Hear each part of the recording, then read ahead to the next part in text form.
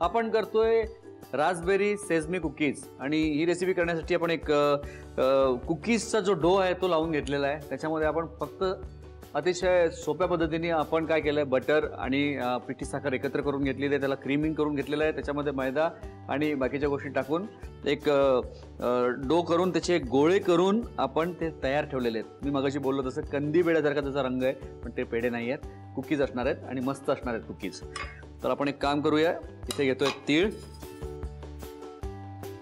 आणि हे गोळे आपण घोळणार आहोत तिळामध्ये. साधे तीळ आहेत हे. आपण कारण की आपण याला अवनमध्ये टाकणार आहोत त्याच्यामुळे ते आपण साधे तीळ घेतलेले आहेत. त्याला रोल करून घेतलेलं आहे तिळामध्ये. आणि हा ट्रे घेतोय मी एक. त्याच्यात लावूया थोडं खाली बटर.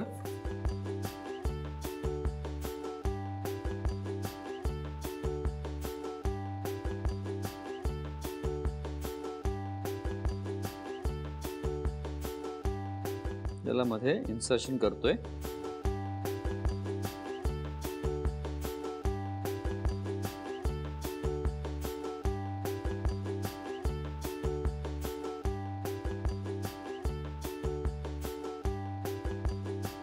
तीळ व्यवस्थित सगळ्या बाजूने लावून घ्यायचे त्याला. आणि मग आपल्याला त्याला रोल करायचं आहे हाताने परत एकदा रोल करून घ्यायचं आहे त्याला दाबायचं आहे आणि याला एक कुकीचा शेप देऊन मध्ये एक गड्डा करून घ्यायचा आहे.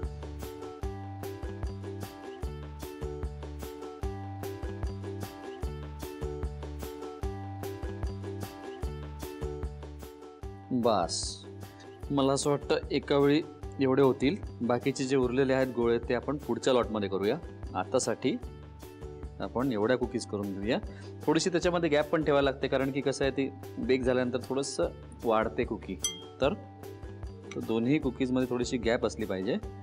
आणि आता हे मध्ये जे गड्डे केलेले आहेत त्याच्यामध्ये आपल्याला हा रासबेरी जॅम याच्यामध्ये भरणार आहे मी. मिक्स फ्रूट जॅम तुम्ही जर वापरत असाल तर तो ज्याच्यापेक्षा जास्ती घट्ट असतो. तर किंचितचं थोडंसं पाणी टाकून त्याला एकदा फेटून घ्या आणि त्याच्यानंतर यात टाका. कारण की मग तुम्हाला ते टाकता आलं पाहिजे ना याच्यामध्ये व्यवस्थित. जॅम बसला पाहिजे याच्यामध्ये. चला जॅम टाकतो याच्यामध्ये रासबेरी जॅम. याच्यामध्ये मँगो पण छान लागेल पायनॅपल पण छान लागेल. पण हा रासबेरी जॅम थोडासा याला किंचितसा एक आंबट पण आहे. तर तो मस्त लागतो खाताना. इनफॅक्ट तो आपला ब्लूबेरी जॅम पण मस्त लागतो फक्त कसं आहे मला थोडीशी ही रेसिपी जी आहे ती थोडी कलरफुल पाहिजे. हा याचा रासबेरी जॅमचा रंग तो ब्राईट आहे. त्याच्यामुळे मी इथे रासबेरी जॅम वापरतोय.